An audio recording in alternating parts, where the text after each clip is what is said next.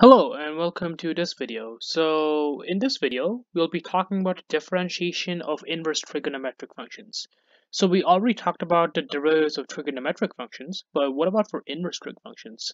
So just as a quick recap, if I have sine of x is equal to y, that means x is equal to sine inverse of y, or equivalently, x is equal to arc sine of y. And there are similar formulas, or I shouldn't say formulas, there's similar equations for cos, tan, etc., etc. But how do we take the derivative of this stuff? So, for example, if I have the derivative of sine, we know that's cos. But what's the derivative of arc sine? You might be tempted to say, oh, but the derivative of arc sine is arc cos. That's not true. So, if we want to differentiate this, how do we go ahead and how do we do that? Well, let's go ahead and derive the formulas. So this will be a fairly short video but I think it's kind of important to demonstrate where these formulas come from. I strongly recommend you remember the method of how I differentiate these rather than memorize the formulas because it's a lot easier to remember the method. But if you want to remember formulas, you can, but it's not always that straightforward to remember them. Well, with that being said though, let's just start with the proofs. So, suppose I want to, suppose I have sine of y is equal to x. Okay, well if I draw a triangle, that means that sine of y is equal to x over 1 because, well, that's just x over 1. And then by the Pythagorean theorem, this is equal to 1 minus x squared. Okay, but now let's use implicit differentiation. So if I differentiate the left side and right side, well, derivative of sine is cosine of y, but then by implicit differentiation, we have to differentiate y, which is just y prime and that's equal to the derivative of x is just 1. So that means y prime is equal to 1 over the cosine of y. But the problem is that the y, remember that from implicit differentiation, y is just really a function of x. So what we're really saying is what is the derivative of the function with respect to x? So this is a cosine of y. We need that to be in terms of x. Well, that's fine. You can just use this triangle. So by def by definition, we know that cosine is adjacent over hypotenuse, so that's our adjacent, and the hypotenuse is 1, so it doesn't really matter. So in this case, we get that our, our derivative is equal to 1 minus x squared. So that means the derivative of arc sine of x because well if I inverse the sine I get x equals. So once just to be really clear as to what I'm doing here uh, if I take the inverse of sine we get y equals the arc sine of x. Like so. So that means the derivative of arc sine of x well according to my what I just did there well that's equal to 1 over the square root of 1 minus x squared. And we're done so that's the first set of the major derivatives you're working with. So we'll just go ahead and box that answer. Okay, so now we're going to do the same thing with cosine, tan, and the remaining trig functions. So let's go ahead and do that here. So suppose I have the cosine of y is equal to x. So as usual, that means that y is equal to arc cos of x, and then we just have to differentiate. Of course, we're just going to use implicit differentiation. So the derivative of cosine of x, well, that's going to be minus sine of x, uh, sine of x, times, uh, sorry, sine of y, y prime, and derivative of x is just 1. Well, that's going to give me the y prime is equal to minus 1 over sine of y well, okay, now if you go and make a triangle, once again, that's y, the adjacent is x, the hypotenuse is 1, and that this means we get 1 minus x squared. Okay, but then sine is opposite over hypotenuse. So if you go to do that, we get that y prime is equal to minus 1 over the square root of 1 minus x squared. Or in other words, the derivative of the arc cos of x, or cosine of inverse. So we'll just be consistent with, my notation. So the derivative of arc cos x is equal to minus 1 over the square root of 1 minus x squared. So not too bad yet. Okay, so that's the second of the formulas. Okay, so the next one we're going to do is arc cotangent. So suppose we start with tan of x, tan of y equals x. So we're going to use the exact same method as before. So this should be fairly rudimentary at this point. So that's y, and that's going to be an x, and the uh, and tan is opposite or adjacent, so that's a one. That means this right here is going to be one plus x squared. Okay, so if we continue at this point, well, if we differentiate both sides, we get the derivative of tan is secant squared of y times y prime is equal to 1. And then on the bottom, we're going to get 1 over secant squared of y, uh, y. But secant squared is just 1 over cosine, so we just get cosine squared of y. Well, here's the thing. We get that y prime, well, cosine is uh, adjacent over hypotenuse. So we get 1 over the square root of 1 plus cos, oh, oh sorry, one the square root of 1 plus x squared, but that's squared. So we just get 1 plus x squared.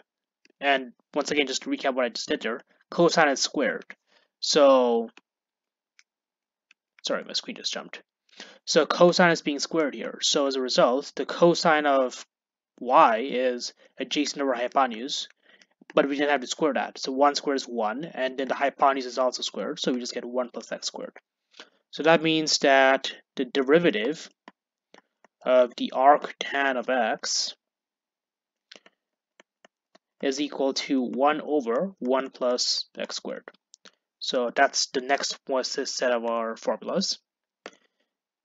Okay, now next ones we're going to do is the reciprocal trig functions. So we're going to be working with arc secant, arc cosecant, and arc cotangent. So let's go ahead and start with cotangent. So next one is the cotangent of y is equal to x. Well, okay, that means that if we differentiate both sides, well, the derivative of cotangent, if you look back at my inverse trigonometric functions video, the, derivative the derivative of cotangent is negative cosecant squared of y, and by implicit differentiation, the deriv derivative of y is y prime. That's a 1. And then once again, if you make a triangle, that's a y. And then that's adjacent, uh, sorry, uh, cotangent is 1 over tan. So this means that that's equal to 1, that's an x. And then this is still going to be 1 plus x squared. And then right here, well, if you divide, we're going to get y prime is equal to minus 1 over cosecant squared of y. Okay, but cosecant squared of y is just, well, it's it's just 1 over sine. 1, cosecant is just 1 over sine. So if you go ahead and, you know, write this all out, well, cosecant, well, we can fix that. So we can write it as minus sine squared of y. Well, sine is opposite over hypotenuse. So with this situation, we get y prime is equal to minus 1 over well, this, uh, this hypotenuse squared. So that's going to be equal to 1 plus x squared squared squared. So that's going to go away. And then we're going to get minus 1 over 1 plus x squared. Okay, so that means that the derivative of the arc cotangent of x is equal to minus 1 over 1 plus x squared. So once again, I'm not doing anything too crazy here. All I'm doing is using the triangles to derive these formulas. Okay, so the next one we're going to be doing is this uh, arc secant. So I'm going to let secant of y is equal to x. Okay, but that would mean that if I take the derivative of both sides, well, that means we get the derivative of secant of y is secant of y tan of y, and then by implicit, we get y prime that's the derivative of x is just 1. So this means we get y prime is equal to 1 over the secant of y times the tan of y. Okay, but now if you make a triangle, once again, so this is y, and then secant is uh, 1 over cosine. So this is going to be a hypotenuse, and that's going to be my adjacent. And then by the Pythagorean theorem, we get x squared minus 1. Okay, so if you go ahead and write this all out, we get y prime is equal to secant. Well, secant of the y is just x. That was directly given up there. And then tan of y, well, that's equal to opposite over adjacent. So it's going to be the square root of, well, let me just fix that, x squared minus 1. Uh, there's And there's going to be 1 up there. And that right there is our derivative. So that means that the derivative of the arc secant of x is equal to 1 over x square root of x squared minus 1. And then we box this answer just to emphasize its importance. Okay, so that's that derivative. And the last one we're going to be doing is the derivative. So we just move down. The derivative of the cosecant or the arc cosecant. So in this case, we have cosecant of y is equal to x. So that means if we differentiate both sides, we get minus cosecant of y times the cotangent of y times y prime is equal to, well, the derivative of x is just 1. Okay, so if you go ahead and bring this all down, we get minus 1 over cosecant of y and then this is going to be cotangent of y. Okay, so once again, if you make a triangle, so this is going to be y, that's going to be cosecant, remember, is 1 over sine, so it's hypotenuse over opposite. And then by Pythagorean theorem, we get x squared minus 1. Okay, so at this point, we get so we get minus 1 over the cosecant of x, but that's just equal to x. And then cotangent is 1 over tan.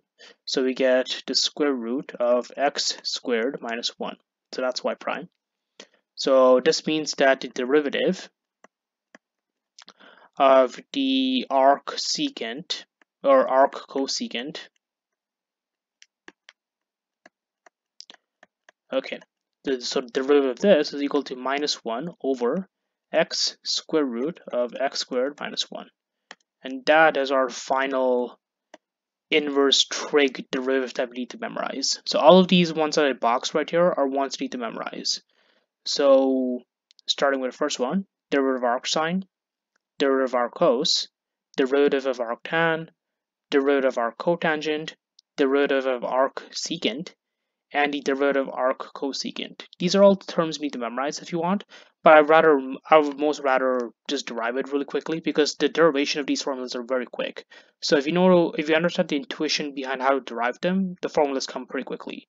But otherwise, you can just choose to memorize the formulas if you want, but otherwise, we're done. So in terms of examples, I'll be doing examples in the next video. So this was just more of a video on how to derive these formulas.